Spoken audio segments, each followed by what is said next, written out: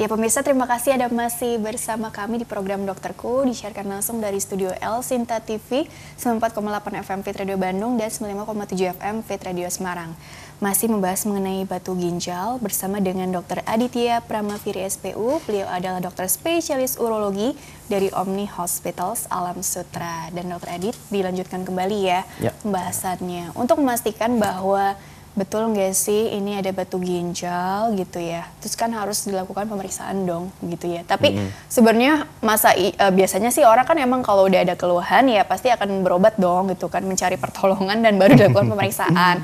Tapi kalau yang inisiatif sendiri katakanlah aku udah umurnya udah 40 50 ke atas terus pria ataupun wanita hmm. yang punya resiko yang seperti dokter paparkan sebelumnya nggak hmm. apa-apa deh gitu dilakukan apa ya screening hmm. gitu ya istilahnya seperti itu tapi sebenarnya gini pemeriksaan paling standar untuk memastikan entah itu dia ada keluhan atau enggak ya e, ginjal saya ini masih sehat atau enggak fungsinya terus ada batu atau enggak yang hmm. bikin ada masalah ke depannya itu kira-kira seperti apa tuh rangkaian atau step pemeriksaannya dokter? Hmm, yang pertama kalau memang kita selalu pada saat pasien pertama kali datang ke poliklinik, pasien selalu kita lakukan adalah fisik diagnostiknya. Mm-hmm. Kita tanya-tanya anamnesis pasiennya, kita lakukan pemeriksaan fisik. Kalau memang ada kecurigaan ke arah sana, pemeriksaan standar yang bisa kita lakukan itu pemeriksaan lab darah, terutama untuk melihat fungsi ginjalnya, elektrolit, lalu faktor-faktor resiko seperti asam urat. Kalau perlu kita periksa juga. Mm. Pemeriksaan urin itu juga salah satu hal yang paling penting. Gitu kalau memang udah ada indikasi untuk pemeriksaan uh, imaging yeah. gitu, iya. yang paling basic adalah USG. Mm-hmm. Itu paling minimal gitu karena bisa dilakukan segera tanpa radiasi gitu ya.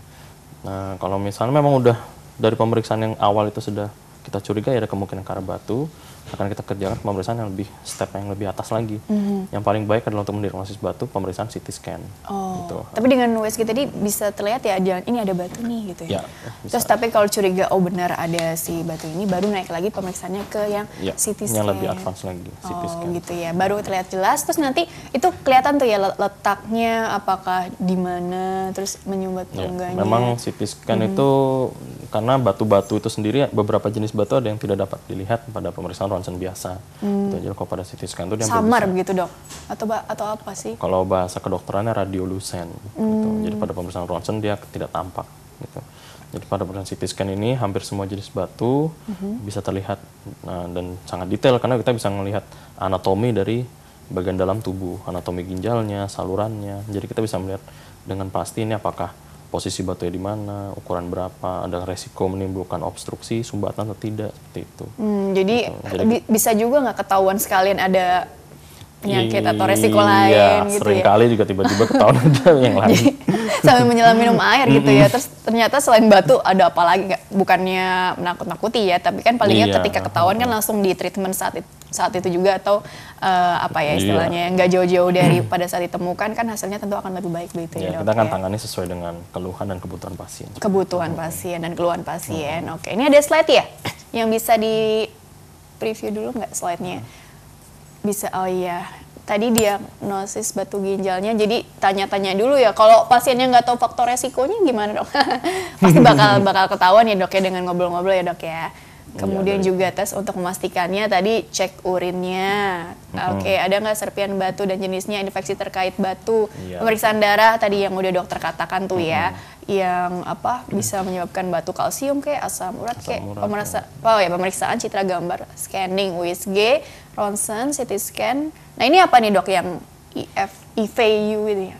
Oh ya, IVU itu dia pemeriksaan hmm. intra kepanjangan adalah intravenous urografi. Jadi hmm. dia memberikan uh, pemeriksaan ronsen, radiologi hmm. dan X-ray, tapi kita berikan suntikan zat kontras ke dalam darah. Ini lebih serius lagi dong, atau? Sebenarnya dia uh, untuk tingkat sensitivitas dan spesifisitasnya masih di bawah CT scan. Hmm. Apalagi dia cenderung invasif karena pasien harus disuntik zat kontras seperti itu. Jadi kita kalau kita memiliki fasilitas CT scan, kita sudah mulai meninggalkan tindakan intravenous urografi oh, ini. begitu ya. Cuma Jadi kalau, uh, CT scan lah ya paling enggak ya iya, daripada betul. si apa tadi IVU ini IVU. ya. Oke, gambar selanjutnya lagi uh, slide slide berikutnya maksudnya. Mm -hmm. Oh, ini udah bicara penanganan nih. Jadi dari hasil CT scan tadi kan uh, ketahuan ya gitu ya. Uh, ini bisa dijelaskan nggak sih dok ini penanganan batu ginjalnya ini tergantung dari apa berdasarkan gambar slide ini apa yang bisa dokter terangkan lebih dalam ya? Hmm. Ya jadi pada poin pertama itu kan kita lihat ada tulisannya sebagian besar kasus batu ginjal tidak perlu tindakan operasi mm -hmm. dapat diberikan saja itu adalah terapi awal untuk pasien yang datang dengan keluhan e, nyeri seperti itu kadang okay. ada mual ada muntah atau infeksi kita berikan obat untuk penanganan awal yaitu pereda nyeri, lalu untuk meredakan mual muntahnya ya. Ya tujuannya kita meringankan gejala pasien. Oke, okay. gitu. meringankan gejala hmm, saat itu ya. Gejala pada saat itu. Lalu juga pada pemeriksaan CT scan kita sudah mendapatkan diagnosisnya apa, mm -hmm. apakah ada batu, ukuran berapa, di posisi mana. Nah itu baru kita rencanakan untuk uh, tindakannya. Mm. Apakah cukup hanya dengan memberikan obat-obatan saja untuk uh, mengeluarkan batunya, mm -hmm. atau harus ada tindakan. Ya, tindakannya pun variasi tergantung dari yang saya jelaskan tadi ukuran, posisi dan kebutuhan pasien. Uh, zaman sekarang kita sudah ada tindakan-tindakan yang non invasif. Salah satunya yang paling sering dikerjakan sekarang mm -hmm. uh, namanya ESWL. Mm -hmm. ya. Jadi uh, extracorporeal shockwave lithotripsy. Jadi memberikan gelombang kejut mm -hmm. dari luar tubuh pasien untuk menghancurkan batu seperti itu. Oke, selain hmm. SWL tuh bawahnya ada PCNL, PNL. Ya, ini salah satu tindakan lagi untuk batu di ginjal namanya percutaneous nephrolithotomy. Jadi hmm. membuat insisi kecil di kulit untuk melakukan tindakan endoskopi menghancurkan batu di ginjal sesuai namanya percutaneous dari kulitnya nefrolitotomi atau litotripsi seperti itu. Terus juga ada URS hmm. ya itu ya? Iya, hmm. rata-rata zaman sekarang untuk tindakan batu di saluran kemih sudah menggunakan metode yang secara endoskopi gitu. Mm-hmm. Jadi sudah jarang sekali kita melakukan tindakan-tindakan operasi bedah mayor seperti itu. Terus juga tadi ada bedah mm-hmm. terbuka itu kalau yang seperti ya. apa tuh batu udah yang parah itu, sekali dong. Ya, biasanya itu untuk ukuran batu-batu yang sudah cukup masif atau ada komplikasi kemungkinan komplikasi-komplikasi lain atau ada kelainan-kelainan yang tidak bisa ditangani dengan tindakan endoskopi itu sudah terpaksa harus dengan tindakan. Oh, tapi operasi. tapi jarang kan dok yang sampai di bedah terbuka atau justru kebanyakan hmm. udah udah, ya, masih terlanjur. ada juga sih kasus-kasusnya. Masih ada juga uh, uh. gitu ya. Ya ampun. Eh, tapi dokter kalau bicara tadi kan uh, treatmentnya tergantung dari uh, temuannya pada saat di uh -huh. ini ya. Terus tadi dokter bilang ini tergantung kebutuhan si pasien juga gitu ya. Kalau misalnya pasiennya ternyata udah keadaannya udah urgent ya harusnya udah dilakukan terapi yang entah itu SWL atau yang mungkin paling ini lagi ya tadi sampai ada yang terbuka segala macam. Tapi dia belum merasa butuh ya mungkin ditunda-tunda karena mungkin uh, apa ya mencari waktu yang tepat dulu atau mencari second opinion lagi atau takut atau apa. Itu semakin ditunda-tunda kan ada komplikasinya dong. Tadi yang dokter bilang iya. komplikasi yang seperti apa sih yang perlu kita ketahui lebih ini ya lebih pasti lagi seperti apa. Hmm. jadi komplikasi yang paling tak kita takutkan itu adalah infeksi satu mm -hmm. atau yang kedua gagal ginjal. Infeksi okay. apa dulu nih maksudnya? Infeksi di saluran kemih. Karena kalau ada batu, batu itu adalah benda asing mm -hmm. di dalam badan kita. Jadi kalau dia um, menimbulkan obstruksi atau ada batu di dalam, itu akan menjadi makanan empuk untuk timbulnya bakteri seperti mm. itu. Jadi kalau sudah ada mulai obstruksi, apalagi sudah ada tanda-tanda infeksi, itu sudah harus sebaiknya secepatnya. Ya karena yang pertama kita harus menghilangkan infeksinya, begitu infeksinya reda, secepatnya kita lakukan penanganan batunya hmm. gitu ya. karena kalau tidak uh, di, ditangani secepatnya takutnya infeksi akan timbul lagi timbul lagi dan infeksi yang sering timbul atau berat itu bisa membahayakan nyawa seperti itu. Oh, jadi uh, tadi in, uh, ada batu bisa jadi infeksi saluran kemih atau sebaliknya juga infeksi sebaliknya juga saluran bisa. kemih bisa hmm. jadi pemicu batu ini tentunya ya kayak yang berulang ya tadi ya seperti iya. sudah dibahas di segmen jadi seperti setan. lingkaran syaiton gitu ya lingkaran setan gitu ya terus juga tadi uh, bisa maaf gagal ginjal tapi prosesnya kan panjang iya, dong untuk sampai prosesnya. jadi gagal ginjal hmm apa gagal ginjal bisa juga sifatnya akut nih gara-gara ada si batu terus jadi cepat gitu tergantung dari katakanlah daya tahan tubuhnya si orang itu juga mungkin eh, nggak uh, nggak oke okay, nggak nggak prima jadi bisa aja dengan cepat perjalanan penyakit. Ya bisa karena kan hmm. kalau gagal ginjal kita membedakan dua ada namanya gagal ginjal akut gagal ginjal kronik. Hmm. Ya. Uh, bagaimana batu bisa menimbulkan langsung menimbulkan gagal ginjal pada pasien itu biasanya kalau seandainya ada batu di saat kita memiliki manusia memiliki dua buah ginjal hmm. gitu ya. Kalau seandainya sudah ada kelainan di ginjal sisi kontralateralnya, hmm. lalu di sisi yang satunya lagi ada batu yang menimbulkan obstruksi, itu bisa menimbulkan gagal ginjal. Karena yang satu mungkin tidak berfungsi, yang satunya lagi ada batu gitu. Nah itu akan menimbulkan gagal ginjal akut gitu ya. Pasiennya bisa uh, fungsi ginjalnya naik, terus menimbulkan gejala-gejala seperti urinnya tidak keluar, muntah seperti itu ya. Nah kalau sudah seperti itu ya itu sudah termasuk emergensi gitu. Kenapa emergensi? Karena begitu kita uh, menangani batunya, fungsi ginjal yang masih bagus ini karena ada batu bisa kita preservasi. Oke, gitu. dokter sebelum kita masuk ke apa ya terapi lebih uh, jelas lagi nih seperti apa, ini hmm. jawab pertanyaan dari uh, sosmed oh, iya. dulu ya dok ya. Boleh. Ini ada dua nih. Uh, pertanyaan pertama dari Iwan, Iwan dari Jakarta.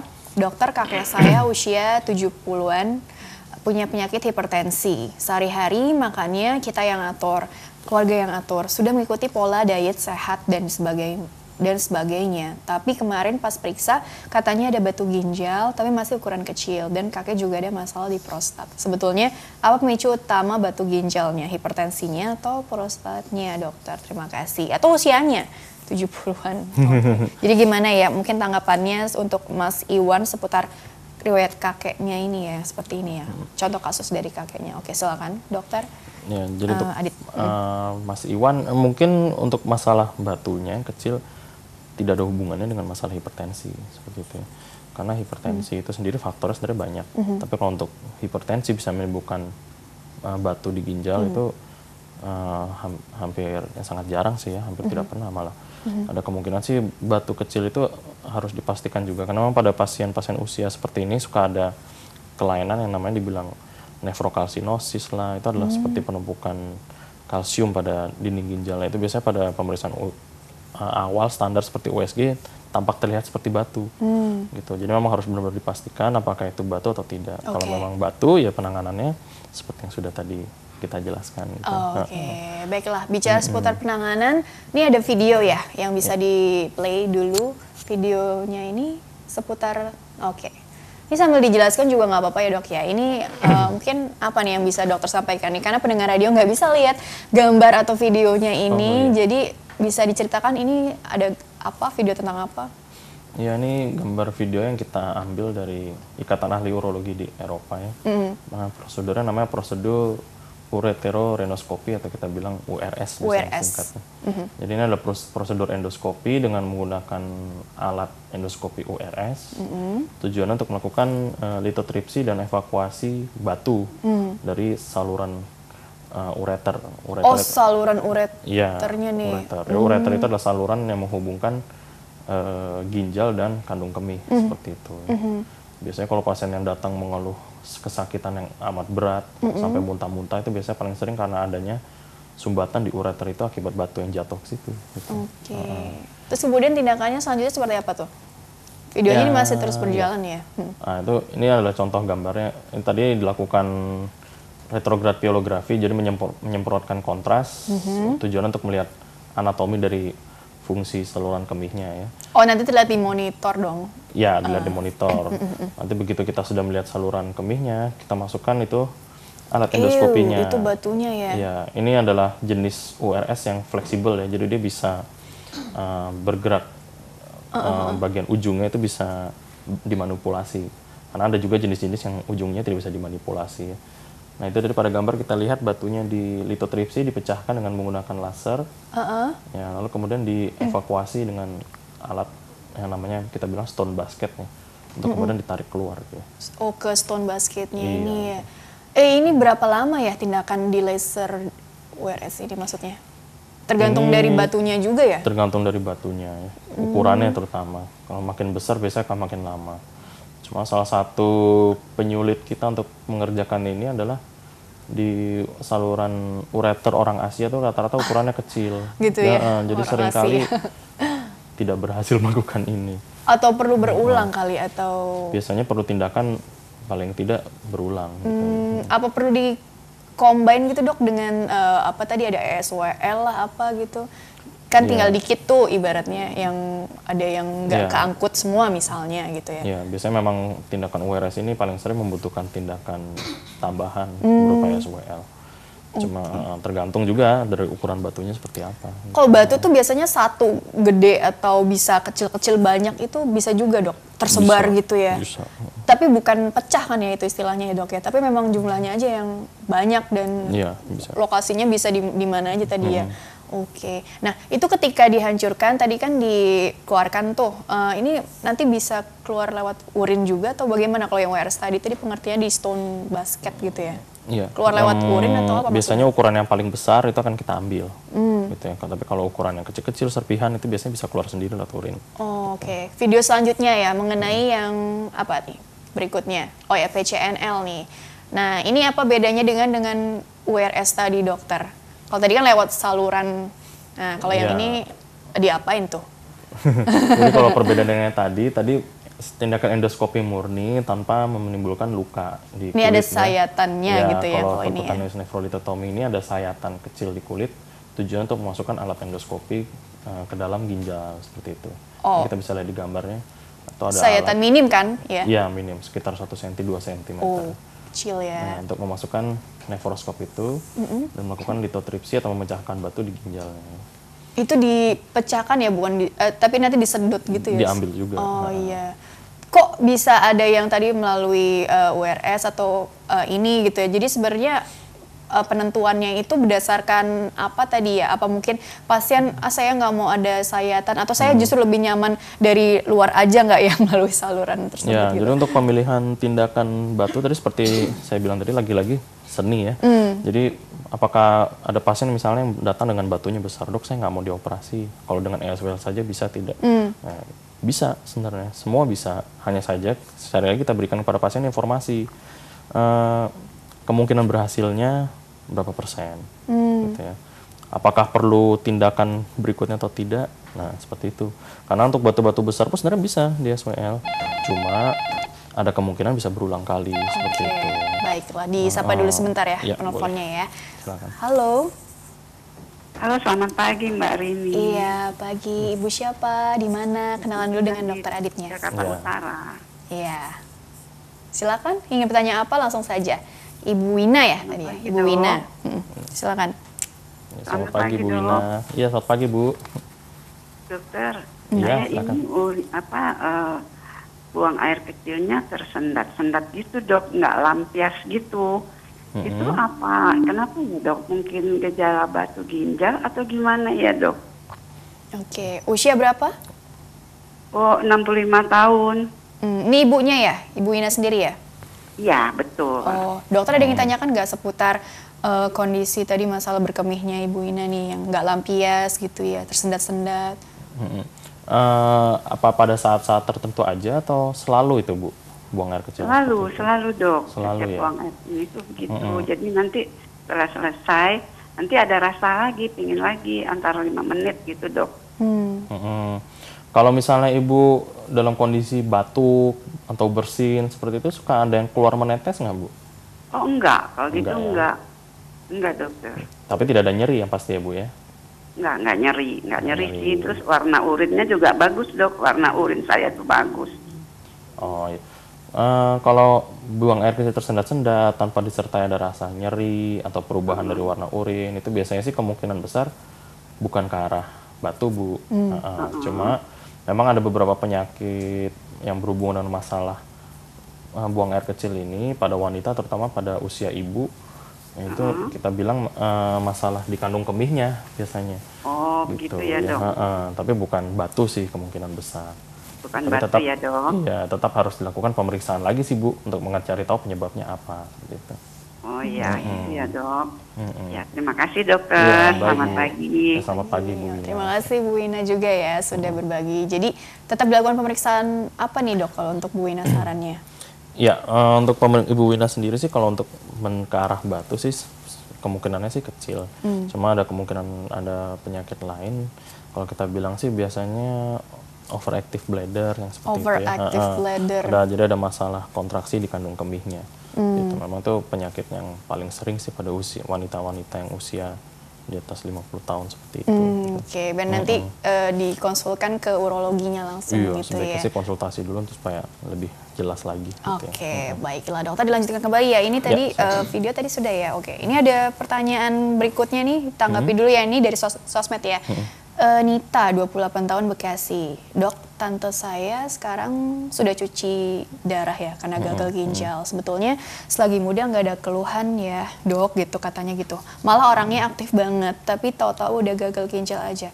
Bagi pasien cuci darah apakah mungkin masih mengalami keluhan batu ginjal dokter? Thank you. Oke, thank you Nita. Gimana dok kalau udah cuci darah? Sebenarnya pertanyaannya nih tepat nggak ju- tepat juga nggak sih? Tapi kan nih orang orang awam juga pasti kan penasaran gitu ya. Aku juga penasaran termasuk awam juga untuk hal ini gitu ya. Ya.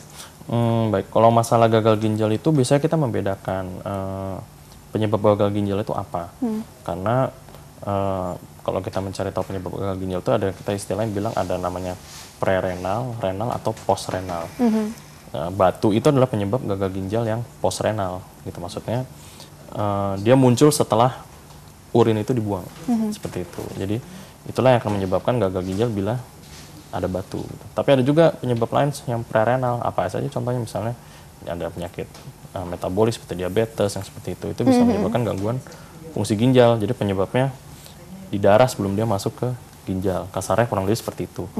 Hmm, begitu ya Hmm. Mbak Nita ya. Kalau apakah gagal ginjal bisa menjadi batu atau tidak, ya masih ada kemungkinan bisa. Masih Gitu. ada Heeh, kemungkinan. memang masih bisa. Heeh. Jadi follow up-nya lebih ini lagi ya dok ya, Eh, kan. lebih banyak lagi dong. Ya, karena saya lebih baik sih fokus untuk masalah gagal ginjalnya sih terutama. Oke, baik. Dokter dilanjutkan kembali ya seputar Ya, treatment silakan. tadi. Tadi dokter bilang ada juga nih pasien yang saya maunya ESWL aja deh. Mungkin karena gelombang kejut tadi lebih apa ya, lebih nggak ada. Oke, ditahan dulu ya sebentar. Oh, boleh. Disapa dulu kalau begitu. Halo. Halo, selamat pagi. Iya, ibu siapa? Di mana? Oh, Ibu Titi di Bogor. Oke, silakan ingin tanya apa kepada dokter ya? Ibu Ah, Titi iya. ingin tanya Ya, apa? Silakan. pagi Bu Titi. Ya, saya kan eh, udah di eh, USG dari ronsen kalau ternyata ada batu dua setengah sentimeter. Nah, batu itu menutupi saluran ureternya sehingga eh, ginjalnya itu bengkak. Ginjalnya bengkak. Ya, dokter menyarankan untuk dioperasi gitu. Eh, kalau seumpama saya, saya kan takut dioperasi. Kalau seumpama di SWL Hmm. itu beresiko atau lebih baik operasi dok? Ya. Ada yang baik. ditanyakan ke ibu Titinya? Hmm, untuk fungsi ginjalnya sendiri masih baik, Bu? Eh, sudah bengkak, jadi kata dokter Hmm. kalau seumpama masih berfungsi baik atau enggak, kita harus eh, dioperasi dulu, dilihat dulu gitu. Jadi kalau seumpama lapisannya masih tipis, eh udah tipis, ya berarti harus diambil sa- ginjal-ginjalnya. Tapi kalau masih tebal, katanya cukup batunya aja gitu. Ya, oh gitu. Ya Bu, jadi untuk kalau saya dengar cerita Ibu, sekilas kemungkinan besar batunya di ureter ya Bu ya, dua setengah senti menimbulkan pembengkakan di ginjal. Jadi karena urin dari ginjalnya terbawa tersumbat total, jadi menimbulkan pembengkakan di ginjalnya seperti itu. Eh, kalau untuk batu ukuran dua setengah senti sendiri itu memang pilihan utamanya adalah operasi Bu. Karena kalau untuk tindakan, karena apa? Tujuannya itu batu ukurannya sudah cukup besar dan kita biasanya melakukan pemilihan untuk tindakan batu mana yang paling eh, baik hasilnya seperti itu. Kalau untuk batu ukuran seperti ini bukan berarti dia tidak bisa di tindakan endoskopi seperti URS seperti itu sebenarnya bisa saja. Cuma itu tadi lagi-lagi kembali eh, ibu ini ada sumbatan total di ginjalnya. Oke. gitu ya. Dengan kemungkinan fungsinya sudah menurun. Apalagi batunya ukurannya besar. Ya kalau bisa sih satu kali tindakan selesai. Seperti itu. Oke. jadi memang yang paling baik ya operasi bu. Seperti itu. Kalau memang disarankan oleh dokter ya seperti itu. memang saya belum lihat sih ya pemeriksaan hasil labnya seperti apa. Terus kondisi ginjalnya saat ini seperti apa ya. Memang yang tahu adalah dari hasil USG itu dan hasil labnya. Cuma memang kalau secara kasar saya dengar cerita ibu sih ya kalau batu ukuran seperti itu ya memang sebaik dengan ga- apa pembekakan ginjal yang seperti itu ya memang yang paling baik sih operasi sih. Di khususnya. operasi. Mm-mm, Mungkin tadi itu, mempersiapkan apa ya mental atau psikologisnya Mm-mm. ya untuk operasi persiapan itu sendiri ya. Bismillah begitu insya Allah lancar Bu. Oke baiklah insya Allah nanti keadaannya membaik begitu ya di Mm-mm, situ ya. iya, nah ini ada video lagi ya dok ya. Oh, iya, Satu lagi deh gitu. ini tentang apa dokter? Oh iya tadi eh tadi baru aja Oh, mau iya. nanya nih. Nah, nih. Pas dong kalau gitu ya SW. Iya, ini tindakan yang namanya tadi sudah disebutkan berkali-kali ya ESWL ya. Iya. Nah, kepanjangannya extracorporeal shock wave lithotripsy, jadi memecahkan batu di uh, saluran kemih dengan menggunakan gelombang kejut dari luar badan. gitu. Gelombang kejut Ah, ya. ah, gelombang kejut. Jadi ini bukan tindakan operasi, uh, bisa tanpa pembiusan. ya. Mm-hmm. Nah, untuk tindakannya sendiri itu sudah ada di videonya. Jadi pasien tidur telentang Mm-mm. atau bisa juga tidur berbaring ya ter- eh, tengkurap eh, tergantung dari posisi batunya itu ditempelkan alatnya di bagian pinggang seperti video itu ya Gak dibius ya sambil ngobrol bahkan ya. bisa sambil ngobrol kadang pasien bisa sambil main handphone sambil nonton TV iya Buat ngedistract gitu kan. Kayak gitu. jadi tindakan ini ini dia dengan menggunakan gelombang kejut dari alatnya untuk memecahkan batu yang ada di saluran kemih Terasa apa? Panas apa dingin apa apa sih dok? Eh, biasa sih kalau pasien bilang ini. sih waktu pengerjaan keluhannya seperti di jepret karet ya. Waduh, tapi kan ini ya apa?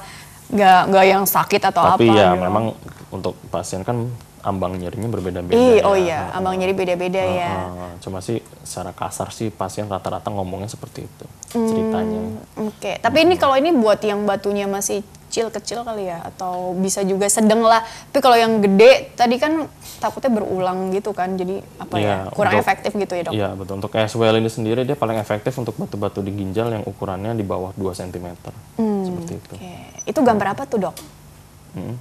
Ini oh nih masih Oh berjalan. iya, itu masih. Itu uh, nanti untuk pem- pemecahan batu itu sendiri kita bisa melihat secara live di itunya. Karena di alat ESWL itu sendiri biasanya ada alat USG. Keluarnya melalui urin kalau ini. Iya, dia akan keluar sendiri. Jadi alat ini fungsinya hanya memecahkan. Sakit apa apa nyeri gitu apa tergantung dari pasiennya Tergantung dari juga ya. serpihan batunya uh, atau pasien itu sendiri. Kalau makin besar batunya biasanya serpihannya makin besar. Tapi yang keluar Nah. eh, berupa ini kan ya dok ya, eh, cair ya dok ya? Apa warnanya juga atau Hmm, ya. ada yang berdarah gitu nggak sih?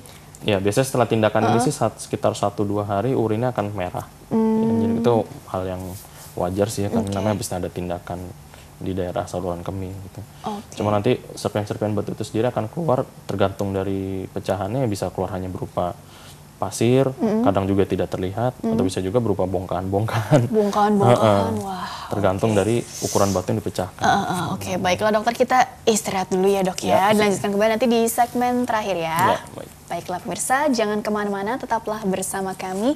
Kami akan kembali sesaat lagi.